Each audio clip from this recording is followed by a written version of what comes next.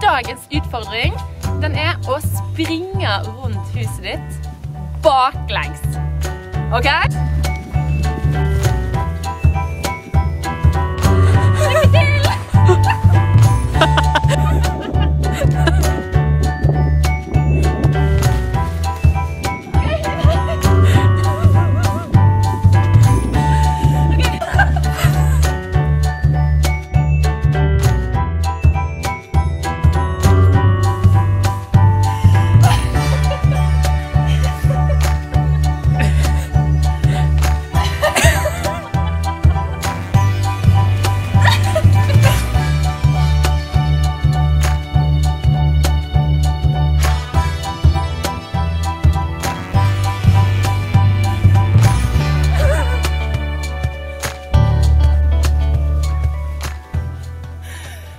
Jobba, folkens.